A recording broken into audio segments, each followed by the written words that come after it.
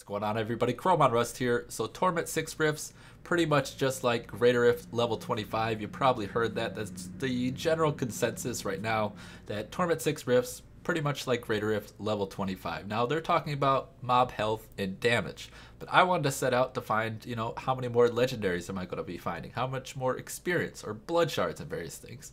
So that's what we're going to be taking a look at. That is this uh, nice little cute chart, I guess, visually appealing.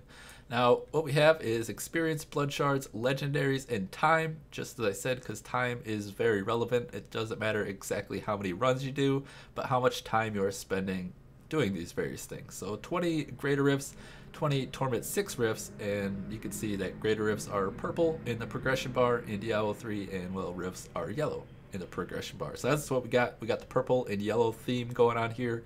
So going through and looking at every one of the runs is really not what you want to be doing, but the information is there because I will be leaving a link to this in the, in the description just in case if you want to check it out for yourself. This isn't like groundbreaking info or anything like that, but if you've been putting together information like this for yourself, you want to compare to the results that I found well, it's going to be open and available. So not really looking at runs 1 through 20, but going down to the total, the averages, the high, the low, and the per hour is really where all the interesting things are going to be found. So how much experience could I find? Well, 3.72 billion experience over the course of those 20 runs versus 7.22 billion experience over the course of those 20 runs. You know, that's good to know, but it's not relating to time and how much time I spent in the rifts. So the averages, check them out there, the high and the low, but the per hour, now getting into more of the juicy stuff here, we can see that we are finding 2.01 billion experience per hour in greater rifts and 4.38 billion experience in rifts per hour. So there's a big difference, more than double.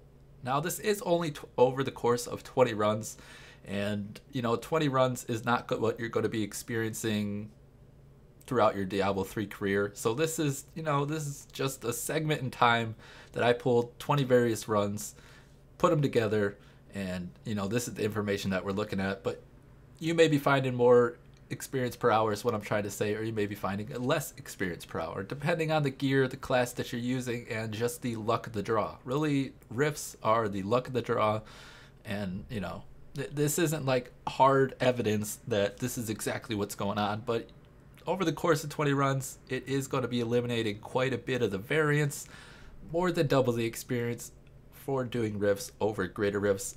Now going over to the next one here, we have the blood shards. Now 115 blood shards is what you're always going to be finding from greater rift level 25.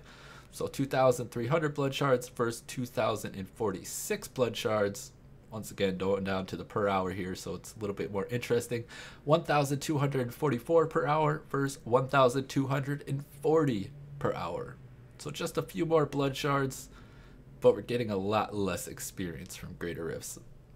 Next one here legendaries the meat of you know everything everybody wants to know. How do you find legendaries faster well Greater Rifts, going to be giving you more legendaries. I was able to find 40 over the course of those 20 runs, or 22 over the course of the Torment 6 runs, which is 21.63 legendaries per hour versus 13.34 legendaries per hour.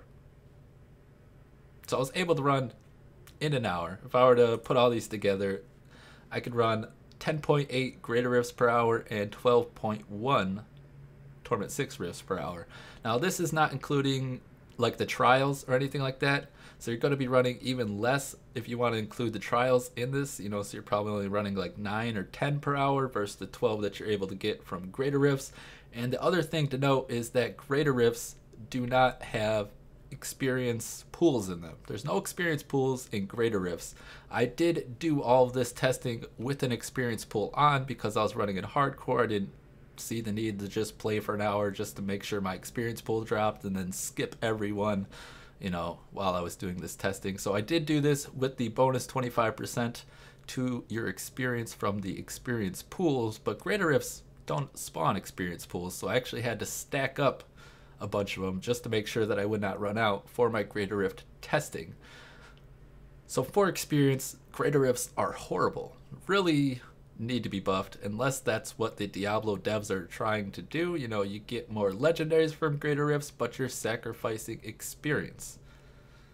I hope that's not what they're trying to do because it takes a long time to get to the greater rifts because you got to start out with the bounties, then you got to run the rifts, and then you got to hope to get a trial, and then if you do get the trial, then you have to go through the Nephalem trials or whatever they're called. I can't think of the name right now, but you know, you get your keystone and then you actually actually run the greater rift after you do that. So it's a lot of work. I don't want to say work, you know, it's a video game, but it's a lot of steps that you have to go through. We'll just say that to get to the greater rifts. Them giving less than half of the experience. It's not very good in my opinion. But what you want to be getting out of your farming runs is really up to you. Now, you know, you have to do Torment 6 to get to the Greater Rifts, but that's just the way that it is. Do you want to be using your Greater Rift keystones for legendaries? I guess so. For experience, you definitely want to be doing Torment 6 rifts. But as I said, you got to do Torment 6 rifts anyways to get to the Greater rifts. So this is just kind of some data that I was putting together, just kind of curious to see for myself. Wanted to, you know, see how many runs I was going to be able to do per hour and various things, and just decided to collect a bunch of other information. So that's what we're looking at here. As I said, link will be in the description. Hope you did enjoy. I'm Chrome on Rust for Core Expert Gaming. Like, subscribe if you have not. I'm out of here, and you all have a great day. Fresh meat.